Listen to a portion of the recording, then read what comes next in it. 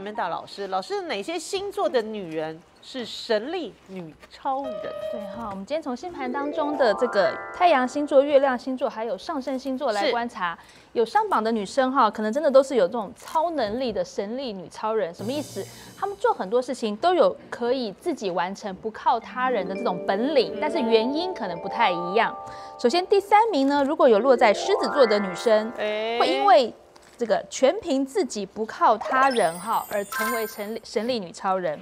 我们说狮子座特质强的人，他们其实充满了自信的，对于很多事情都觉得我可以，我可以做到，我可以自己完成的。像有些这个狮子座的女生啊，一拿到驾照，一开始开车，她们就可以开个这种长途旅行哈，或者是就开山路了。很多人开车多年还不敢跑山路，但狮子座女生觉得我可以，只要我能够这个拿到驾照，表示认可了我的能力了。所以在生活当中，甚至结婚之后，很多家里面的事情，她都觉得嗯，我自己就来就可以了，不需要靠另一半。好，会因为这样的原因，就是那种好像比较辛苦的神力女超人。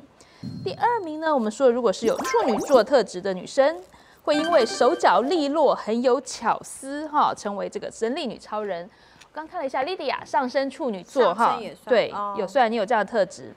我们先说处女座的女生啊，她们很厉害的地方就是这种在生活当中很多大大小小事情，她们都很擅长，她们都可以去做。因为有时候某些工作你可能真的不行的时候，你还有个借口嘛，啊，我不会耶，我不知道这个呃这个什么这个电灯坏了要怎么修，你有个借口。可是处女座女生她真的明明就会，她自己就觉得我说不出口这个推脱拒绝之词。再来就是因为处女座的女生，她们自己对很多地方、很多细节其实是讲究，是看得出来这个到底有没有做好，还是做得不好，所以她没有办法去忍受另一半做的不如她的标准。举例来说，有没有可能像莉迪亚好了？比方说，可能真的先生有空，他就说：“哎，那今天早上出门前，你帮忙这个女儿去整，就是收拾她的书包好了，或者她的东西。好，先生可能带了外套，带了什么什么的，在那边慢慢准备的时候，莉迪亚就会说。”啊，算了吧，看你在那边摸半天，我自己来好了。嗯，好，我可能这个五分钟就弄好了，你摸了十五分钟还没踏出家门。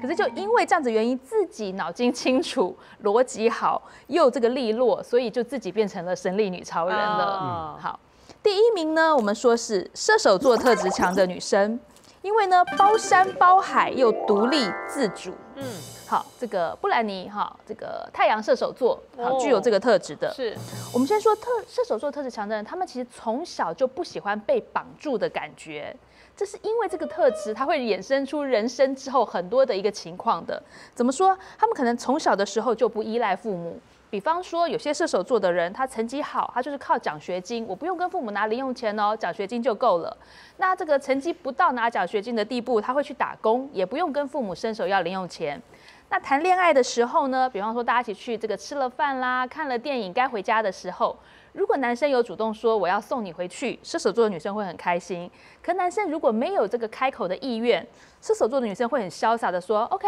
好啦，那就这样子再见喽，自己很潇洒的说个拜拜就回家了。一样的，结婚之后，射手座特质强的女生她没有办法去。等待说，我做什么事情都要经过老公同意，是我做什么事情都要等老公在我才能做，这是他们觉得很绑手绑脚的。真的，所以与其等老公在，老公的这个来做，不如我自己来好了。